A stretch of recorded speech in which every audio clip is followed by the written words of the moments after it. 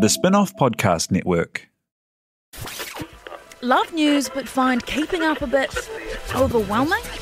Well, Newsable is the answer. It's your daily fix of everything worth talking about. I'm your host, Imogen Wells, and in about 15 minutes, I'll bring you what you need to know from Aotearoa and around the world and explain why it matters. Newsable tackles the big stuff without taking itself too seriously. Listen and follow wherever you get your podcasts.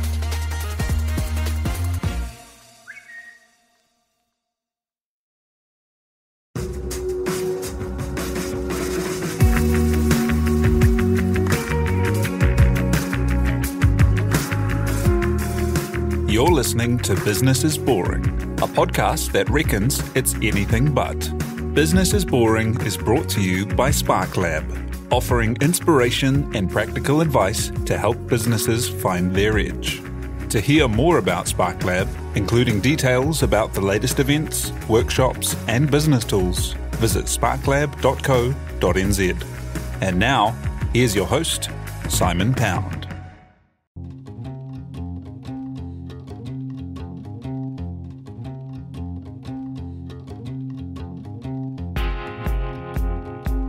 You're listening to Business is Boring, a podcast that reckons it's anything but.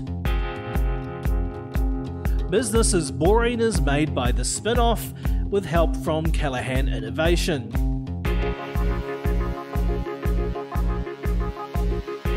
Here's your host, Simon Pound.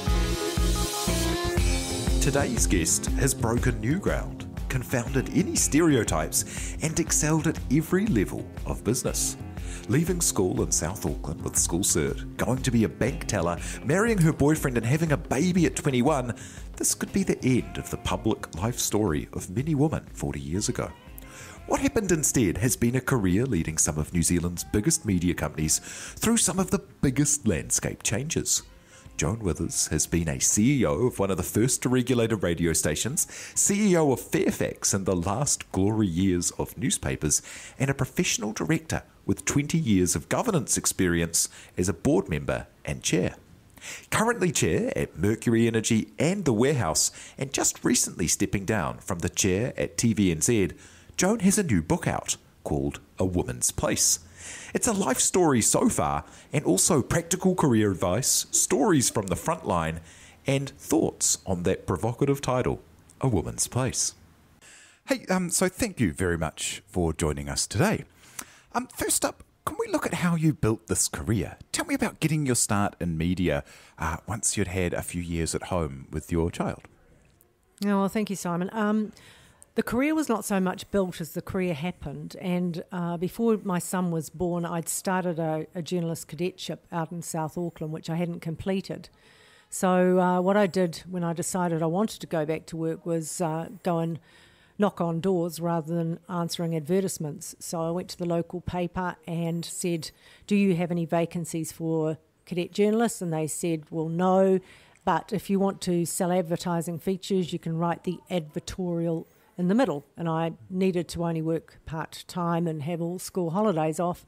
So that's how I started, and uh, yeah, I was reasonably successful, enjoyed the work enormously, and then kept getting offered promotions. How did you get those promotions? I mean, that seems really interesting to be that open to the opportunity of doing something that involved some advertising selling in there as well. I think the thing about advertising sales is that it is eminently accountable. You tally up what you've done every week, so it's very measurable, and I did do well. And so I was offered the opportunity to go out to Papakura and run the branch office for the newspaper out there and supervise a number of staff who were based there. So that was sort of the first extension. And from there, I became sales manager and then through more senior managerial roles, effectively within the same organisation. So it's just doing the job to the best of your ability. And if you do it well, then people are going to keep giving you chances. What are the kind of things that allow you to get those promotions? I mean, um, is it is it ownership, like really owning your responsibilities? Is it delivering? It's both. You have to own your responsibilities and ultimately you have to deliver. You have to be able to do the job. Nobody's going to promote you if you're a failure in the job you're already in, unless the new job is a totally different direction. So it's success breeds success, I guess. And you mentioned in the book about how you were feeling at a certain point uh, after a few promotions and as you kind of were getting into the corporate ladder, uh, a lack of those qualifications. And so you went back to do the MBA. T- tell me about like what that was like and, and, and how it worked for you. It was really interesting because the lack of tertiary qualifications really weighed quite heavily as I went through the ranks. And it was internal more than external. But coincidentally, that was about the era where MBA started to gain some real credibility, and Auckland University were doing them. So I had a look at the course content, and it was absolutely directly relevant to what I was doing in my roles. So I didn't think I'd be able to be accepted because I didn't have university entrance. We were putting our son through private schooling at that stage, so we didn't really have the spare money capacity to uh, to fund the course, and I knew I'd have to get a lot of indulgence from my employer. But sort of magically, all of the hurdles fell away. So my employer effectively paid the course fees, gave me the time off I needed for lectures, and my family tucked in behind and, and helped at home that family helping at home thing comes really through in the book where uh, your your son was doing the shopping on the weekends and you were up at 3 a.m. doing the reading for the courses and that's kind of two years of massive commitment it was hell on earth in terms of the workload, but I just loved being at university. So it was far more onerous for everyone around me than it was for me because I was immersed in this stuff. I just loved it. And as I said, I you know I didn't anticipate I'd ever be able to go and get a degree, and this is a master's degree, so I was absolutely committed to doing it well. And uh, so it was. I knew once I'd started, I just had to keep going because the worst thing would be to to fall out, you know, a third of the way or halfway through the course and end up with nothing after you've invested all that time and energy. Tell me about the upskilling that goes on there. Uh, as um, w- what was it? The last paper that you did ended up becoming the blueprint for your next job. Well, that was the thing. Uh, as part of the executive MBA, you have to do what is effectively a mini thesis. And so at some stage in the second year, I became very conscious that the fate of afternoon newspapers, and at that stage I was working at the Auckland Star, was pretty dire. And I, as I said in the book, I really wanted to start testing these theories in real life. So I made the decision to look for another job, and luckily for me, the role at Radio I, which was called chief executive, but it was very small, it was 35 people in the company, uh, was available, and, and I was uh, I was appointed. So I based my mini thesis uh, on the repositioning of a radio station in a deregulated market in Auckland. And just before that, you you, you did make that jump. Uh, t- tell me about the environment at the Star because uh, you were caught up right in the middle of some massive media changes there, with the profitability leaking away and and afternoon newspapers not really being viable. And that was that your first kind of big experience of having to uh, run restructuring and let people go. Yes, it was, and that was particularly tough. Uh, in the March before I left, uh, I got a call while I was up actually at the university doing a lecture, and, and somebody came to me and said, You've had a message. Uh, you must call before you go back to the office. So I made the call, and the then uh, managing director of INL, Mike Robson, uh, has said to me, Don't go to the building, go to the building across the road. So I arrived there and he told me that there was massive restructuring planned. At that stage, I was marketing manager, so in charge of all marketing and sales. Um, I think the general manager and the deputy general manager were both going, and I effectively had to reduce the headcount within my own area significantly with only 48 hours' notice.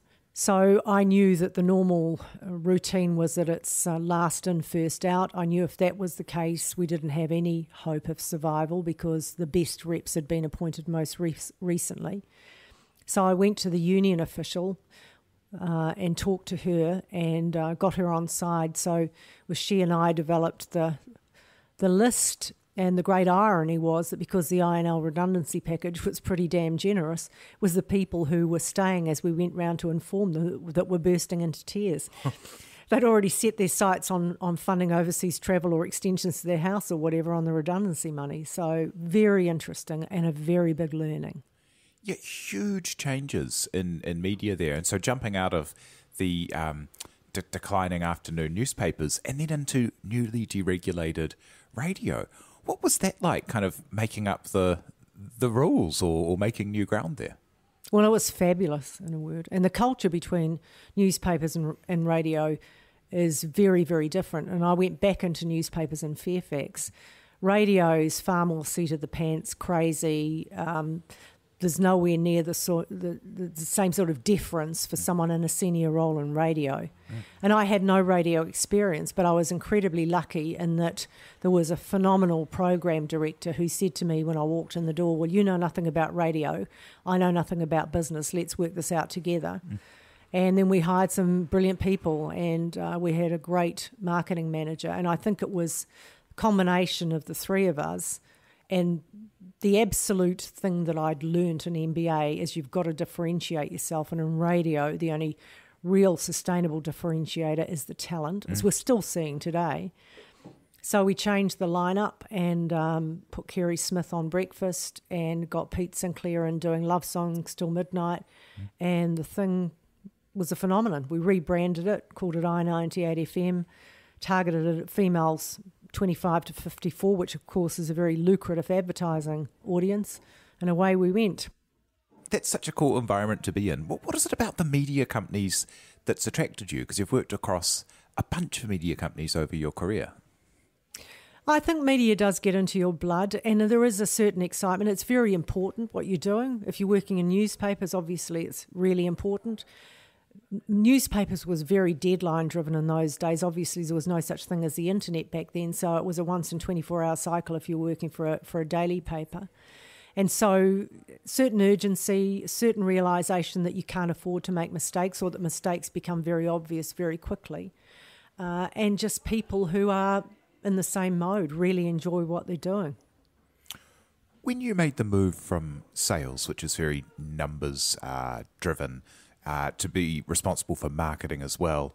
What were the skills you needed to pull out of that MBA to then be able to move into uh, top executive roles? Like, what, what what is it that people on the marketing side need to add to their repertoire to be able to succeed in those top roles? The numbers always count, and the higher up the organisation you go, financial literacy is really, really important. And the things that I learned in MBA, I still use every day. So for much of the course, it was like a light going on. Obviously, the marketing paper, you know, I was across that sort of stuff. I'd lived and breathed that. But it's things like financial management, where for the first time I understood how to analyse a business case, what discounted cash flows meant. Uh, and the importance of getting those things right when you're assessing a project or an investment. So, uh, that was probably the main thing. The HR areas, obviously, you learn that as you go along. Although it was great to have have some discipline around that and theory around that. Legal studies was interesting. So as I said, the course was highly relevant to what I was doing and just enhanced the skills that I'd learnt on the job. So moving from radio, where you took that one of the first stations and took it to number one, and then into um, should, should we jump to, to Fairfax and you know, that must have been pretty exciting the last glory years of um, of newspapers. You know, incredibly um, prominent in the landscape. You know, everyone lived on what the next day's front page was going to be. Advertising coming in. What was it like? Well, it was amazing. And I'd been on the board of Fairfax in Australia. I was actually doing governance at that stage. And uh, the succession plan that they thought would work for the New Zealand business hadn't, hadn't panned out. So I was offered the opportunity to go in as CEO. And initially, I was going to go in for, I sort of signed a three year contract. But mean, when David Kirk arrived, it, that was extended, and I, I spent four years in that role. And yes, it was. Um, revenues for, for newspapers were still growing at that stage every year I was there, we grew market share against the competition. Uh, and yes, it's incredibly important. We did. I'm very proud of the journalistic record of the newspapers in the Fairfax stable, and we had magazines as well and suburban newspapers. So, um, hugely exciting period, and I loved that. But it was obvious You're starting to see with GFC 2008, I was there between 2005 and 2009, you could see it was newspapers that were being most adversely affected in terms of the media landscape in New Zealand. And of course, since then, ad revenues for newspapers have, have literally fallen off, off a cliff. But the thing I think that was most important that we could see was the digital environment. So we own stuff. While I was there, David drove the initiative. David Kirk was group CEO, and we bought Trade Me. Mm. So it was a situation where the business looked at what the cash cows were and used that as an investment, spent $750 million buying Trade Me to make sure that the business was equipped into the future. And uh, equipping journalists to work across multi platforms was also fascinating and challenging. I remember the talk about that uh, the, the purchase of Trade Me as being a crazy price, but uh, as a I was a young reporter, and when you realise that the actual entire business model of newspapers was to sell classified advertising and everything else, all the big ads, all the news was kind of frippery on the top of of classified advertising and Trade Me was the future of classified advertising. I think people will look back on that as one of the brightest media moves uh, in the country. Yeah, and it was just living to the thing you also learn in MBA, which is diversify your portfolio. So, yeah, the rivers of gold were disappearing quickly. They'd actually started going before that in terms of things like trade and exchange in New Zealand. Uh, but yeah, employment was a massive category for newspapers, and very quickly, Trade Me had uh, got a very good holding in that area and real estate, of course. So, yes, but having both within the stable was was very good, and obviously, then we're starting to see the fledgling revenues coming into display advertising on the stuff side as well. Tell me about what a good day as a CEO uh, at somewhere like Fairfax looks like. You know, um, whenever I talk to people in those roles, their days seem to start at 5 a.m. and finish at 10 p.m. No, I never did that sort of regime. I did start early because that's my body clock, and because I've had a commute in from in from South Auckland, I used to start early, but I'd normally get away about six o'clock at night. So it is busy. But the thing I learned being a CEO is it's actually the things that you enjoy doing that are the most important. And again, that it's a big it's a big category, but talent management, talking to people, getting the right people around you. In radio, that was critically important, but in, in newspapers, it's important as well sitting there and writing your board report is important, but actually it doesn't move the dial. Mm. So there's in any job there's dross. You've just got to work out what are the things that are actually going to make a difference and make sure that you spend enough time on those things. Tell me about delegation. Uh, in the book, a couple of times it's mentioned about the teams that you built around you. Uh, the Tight Five was um, the name of one of those groups. How do you manage to um, give people enough responsibility and ownership that they do a good job, but not so much that things happen that you don't know but then end up being your problem. I think it's all about communication. If you get great people, you know what you know what their ability is, and actually, it's lovely to be able to delegate stuff because as a CEO, you certainly can't do it all, and if you try to do that, you're going to fail. So the people I got around me were eminently capable in the roles they fulfilled. But what we did do is, and David, I'd sort of not thought about the t- Tight Five. David had, had, mentioned that in the in the foreword. Um, we communicated on a very regular basis and had brief meetings, but meetings that covered all the points. So we all knew what everyone was doing, and I think that's the secret. And is that done in kind of like a daily stand up or what, what kind yeah, of, yeah, just well, at least a couple of times a week, getting together. We used to call them whips meetings, and just go in and catch up on, with what was happening. And then the individual conversations that you have with your direct reports, so you get a sense of what their challenges are, and they're opening up about about issues they're finding, and, and hopefully you're able to assist them in, in meeting their objectives as well. Tell me a little bit about the um, the role of a CEO. I, I, kind of, as, as I've spent more time in in big corporate structures. Uh, it, it seems really interesting that the CEO is this kind of fulcrum where all of the pressure of the organization underneath comes up to them, and then all the pressure of the board and the capital come down on them, and it's just them in the middle. Yeah, well, it does feel like that on some days, and I think the great thing for me personally now is having been a CEO myself, I I know it helps me being a chair and forging the relationship that I need to have with the CEOs that, that I'm working with. So it is like that, but it's the point I made before. If you're a CEO and you've got a great team around you and you are really aligned and you're focused on the same objectives, then there's nothing that's more fun in the world. And it's actually a good CEO will understand the skills and competencies that he or she has around the board table as well. So, in an ideal environment, you, you're actually eliciting the wisdom from from the directors that uh, you've got who effectively you're reporting to. So I won't say that it's easy, it's not, but certainly if, if it's functional, if it's not dysfunctional, it, um, you can learn from both perspectives from the people you report to and the people you've got reporting into you. Let's look at that governance situation there. What led you to jump into governance? Because you did that while, um, but before your Fairfax stint as CEO. Yeah, when I was um, so after Radio I, I was headhunted into what was Radio New Zealand at that stage, and uh, I was running a subsidiary part of the business, and then I was promoted to um, run the well, be COO of the commercial operations. And the Crown then decided they were going to privatise the commercial radio arm.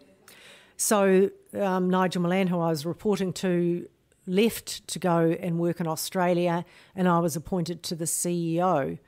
So um, I took it through the privatisation process, which I found enormously rewarding and stayed with the new owners for just under two years. But in, as part of that sale process, I'd been exposed a lot to the board. Uh, and I'd been exposed to Treasury, and I knew that there was a momentum, a push to get more women on boards even back then.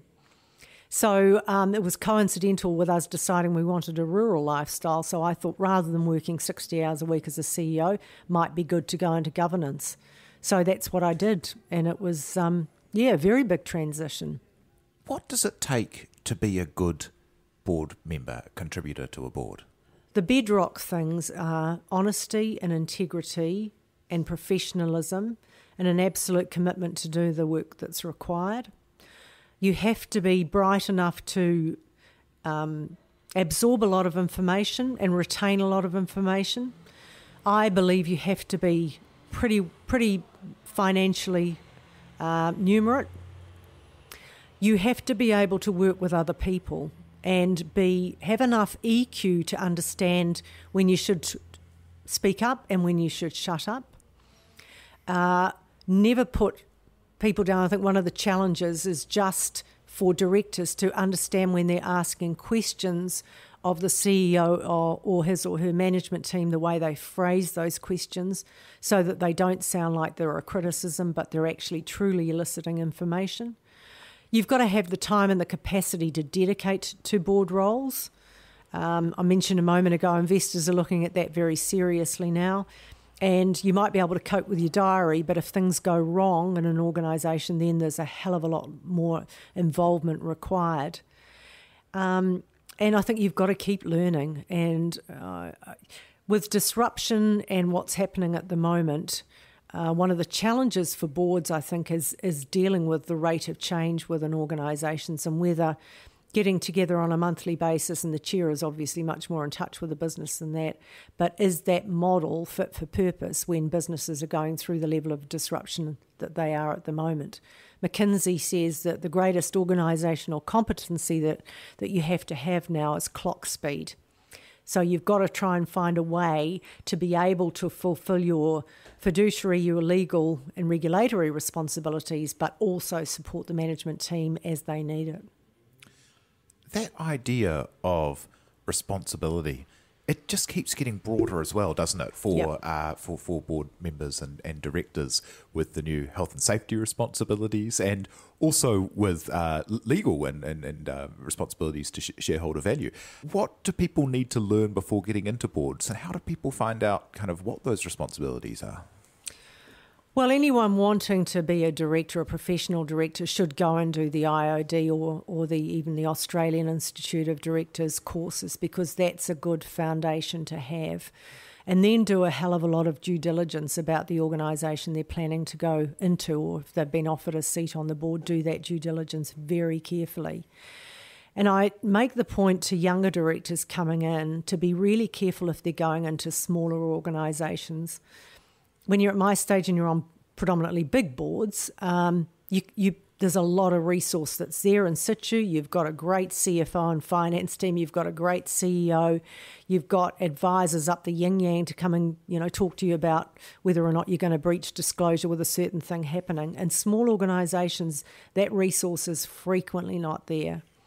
Health and safety, obviously, that's been an evolution with a change of legislation a couple of years ago. So we're all learning and we're all being very rigorous in terms of our due diligence around health and safety in our organisations. So, yes, it's not something to step into lightly. And as I tell everyone, things can go wrong, and sometimes they do.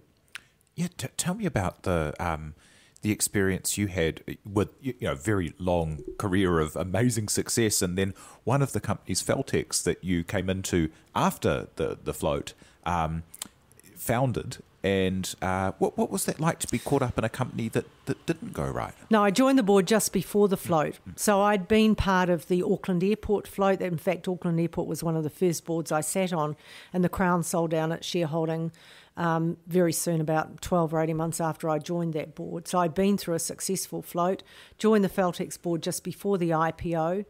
Uh, the, with any float, there are fi- uh, prospective financial information statistics put out there, and that's part of, of what people look at when they're planning to invest. And if you don't meet those forecasts, then obviously there are repercussions. And Feltex didn't make its forecasts. So I left the business before it actually did collapse, but was obviously part of, of what happened uh, when the profit downgrade was announced. So that's still going through the courts 10 or 11 years later.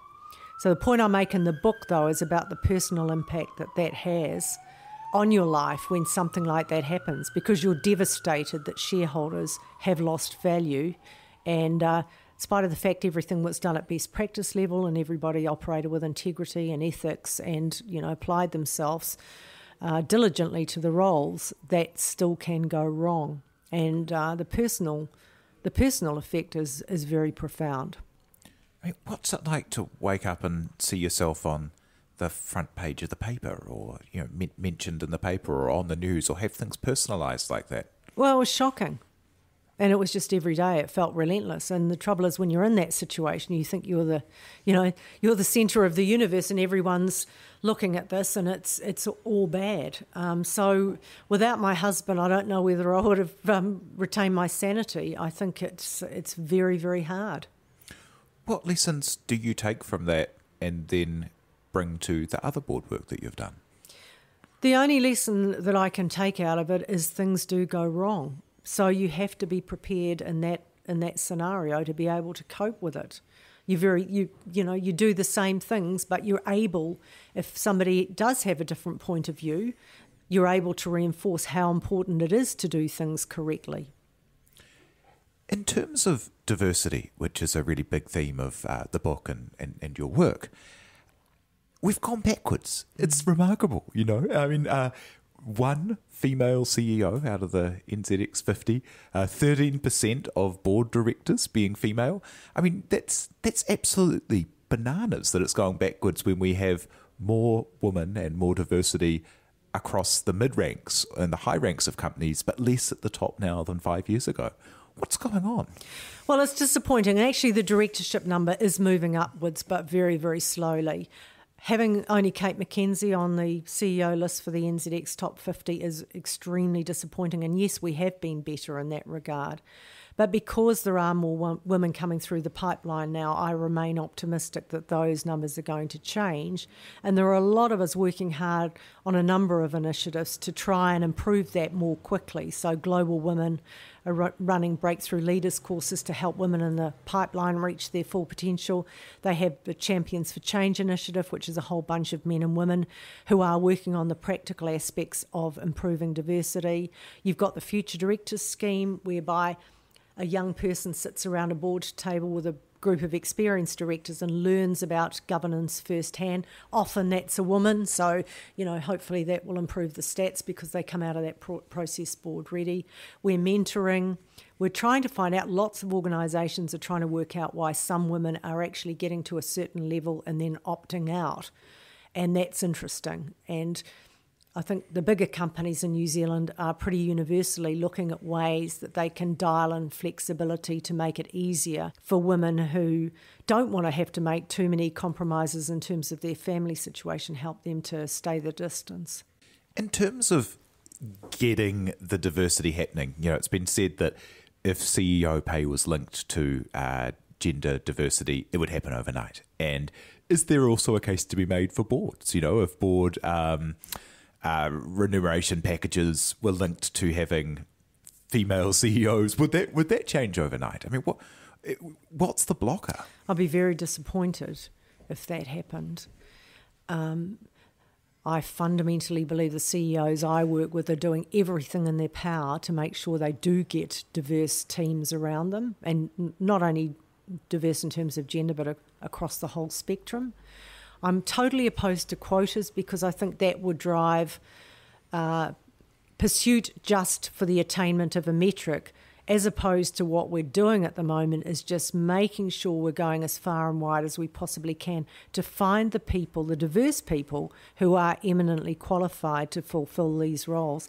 And they are out there. But the recruiters, you know, have to be chastised on a regular basis because some of them still come back with the same old, same old list. So I had to fire one recruitment agency some time ago when I was looking for a marketing oriented director, and they came back with a long list that did not include one female. Now, there might be some slight excuse if it was something like engineering, although there are great engineering women out there. But it just reinforced the fact to me that they, the research has to has to happen, and then you find amazing candidates for these jobs. Is there quite a bit of inherent sexism still there? And I I take the example of your promotion of the book, where there's been a number of interviews that you've done, and people have asked you about the clothes you wear and uh, your appearance, and I can never remember, with the maybe the exception of like Rob Fyfe or Mark Weldon, ever male directors or prominent business people being talked about in terms of appearance. And it seems, you know, it seems so nuts that those would be the questions that are being asked of you today with your career and this book and its purpose. Uh, you, has the environment got less sexist? Is it still that sexist? It is a hell of a lot less sexist than it was 20 years ago. And often the comments that were made back then were well intentioned but out of line. And I think, you know, I, I recount in the book some of the situations where comments have been made by men and there's been a massive flashback. T- tell us a little bit about those initiatives to get people into the boardroom. I love that idea of people coming along and sitting in on meetings. And when you say a young person, what age are you talking about there? Like, if someone's sitting listening to this podcast and they're they're under forty and they've got a little bit of uh, senior leadership experience in a corporate, should they be putting their hand up, or do you have to wait until you're in the uh, the C-suite, you're some kind of uh, executive there? When do you start in order to get that pipeline happening? Well, I think if you if you're in a reasonably senior role, typically the future directors are sort of level two or level three. Um, but it's a great scheme, and the IOD. It was Stephen Stephen uh, Tindall, Michael Stiassny, Michael Stiassny, and Des Hunt who set the scheme up, and lots of companies are now picking it up. So it's quite formal in that obviously these people have to sign non-disclosure agreements because they're hearing confidential information. They normally have a, a stint of either 12 to 18 months. They attend every board meeting and they can attend committee meetings. They take part in all of the discussion and the debate. They don't take part in, in decision making. And there are quite you know strict legal protocols around what they can and can't do so that they don't ever become deemed directors. But it works, and uh, anybody is. It's harder to find people who've got skills in the marketing area, as one example. So, or in digital technology area. So, anybody interested should just go and, and contact IOD and put their hand up for um, for taking a position. And if there's one thing that I kind of got from the book, it is that idea that you, you're you're showing that you can do as long as you keep learning and work hard. You can do anything. You can, but there's no silver bullet. You've got to do the hard work and you've got to have the skills and experience that are required for any particular job. So my my thing is always telling people to differentiate themselves by taking control of their own training program. Take everything your employer gives you and be grateful for it. That's fantastic. But actually look at where you want to go and start supplementing what you've got with what you will need. And it's so easy now via the internet or going to short courses at the university to do that. Thank you very much for joining us to talk today about your new book, A Woman's Place. That's Joan Withers. Thank you for joining us. Thank you, Simon. Thank you to Madeleine Chapman for producing, and thank you for listening. You've been listening to Business is Boring, presented by Simon Pound. And brought to you by The Spinoff and Callaghan Innovation.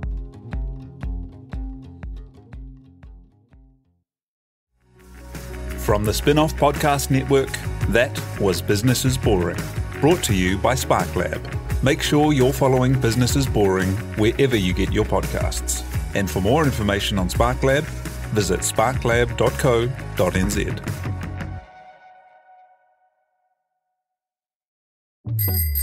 Ready to rediscover the joys of cycling? With over 300 kilometres of cycle paths across Tamaki Makaurau, jumping on your bike and going for a ride is such a fun way to discover the city from a different perspective. Cycling is getting more and more popular across Auckland, so now's a great time to join the hype and give cycling a go. Head to at.govt forward slash cycling to find your nearest cycleway today. The Spinoff Podcast Network.